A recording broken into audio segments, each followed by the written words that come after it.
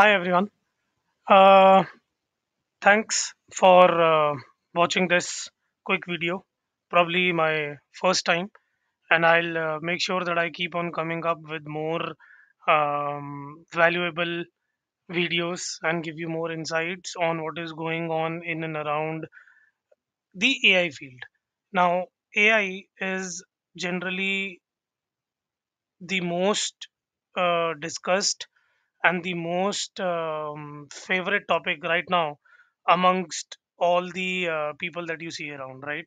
So from uh, starting from the organizations to the erps to the governments to the uh, small um, scale organizations. So every each and every person is talking about ai right now. Ai is known as is, is known as artificial intelligence now, uh, there are multiple AI tools available in the market today, and there are a lot of things that you can automate. There are a lot of tasks that you can automate uh, with the help of those tools. But then, uh, today's topic or today's discussion uh, will be quickly around Oracle uh, and what Oracle ERP or what Oracle Cloud Applications has given us with respect to the uh, AI um, tool or AI functionalities.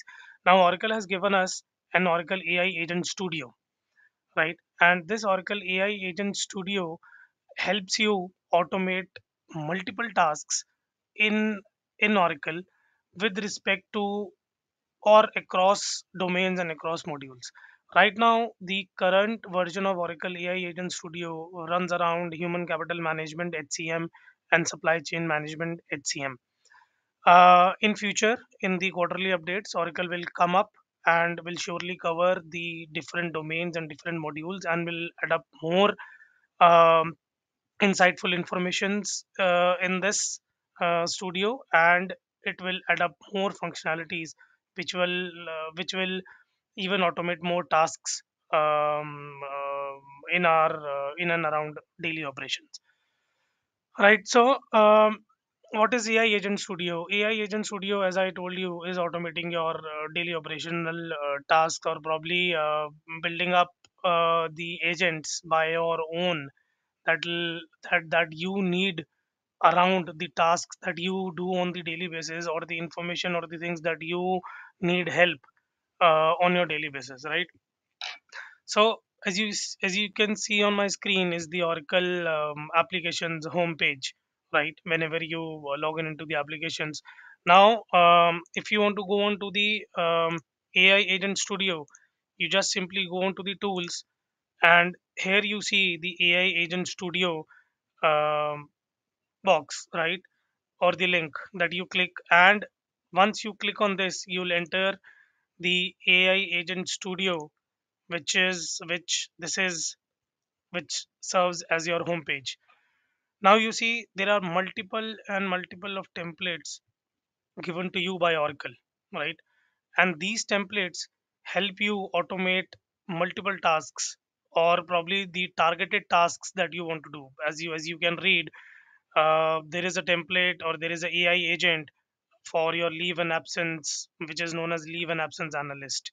There is an agent which says good delivery advisor leave and absence analyst talent advisor and this is varied across different families and products. So when you click on families you see there are multiple families that are coming up.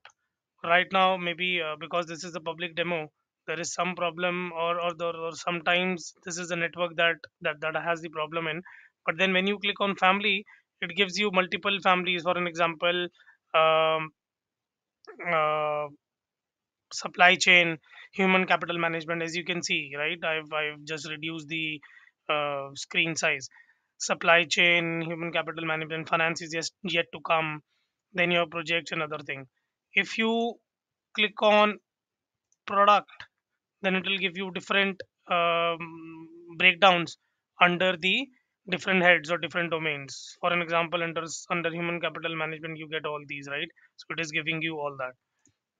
Now um, i know there are multiple uh, topics that have come up there were there are multiple write-ups that have come up uh, to tell you that what are what is AI Agent Studio, how it goes through AI agent things and other things. But then I'll quickly take you through uh, each of this and try to build something um, and i'll wrap up quickly because uh, short video is always a good and an insightful video right so building so this is what your um, sequence goes. You'll have to have a business object. Business object is something that acts as in what exactly you want your agent to probably do or what you want your agent to probably work upon right? Deep links is something that you want your agent to navigate more into the system and go on to a particular um, page or go or go on to a particular screen wherein you want to find some information topics. Again if you want to have some more readable uh, top uh, give give some more readable topics give give some more readable policies then you can give this right? And then you have tools.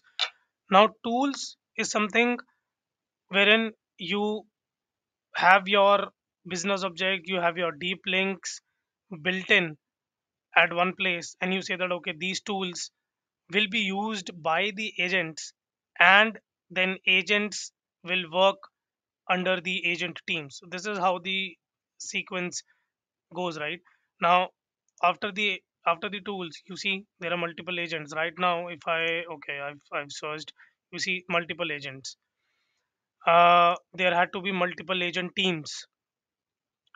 These are all agent teams that are that that are being built because it is a public uh, demo. So there are multiple agent teams built by multiple users across globe right? So if you if you see that okay if i say that okay let's let's go to the business object and uh, build a business object.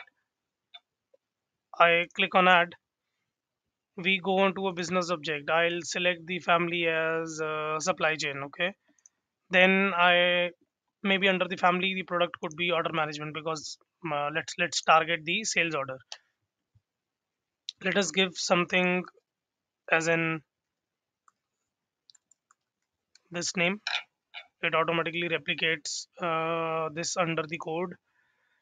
Let us have a monolith resource because we want to have this information to be pulled up from the um, api we have multiple things to be selected here but then let us talk about the api today okay i uh, go on to the api here right?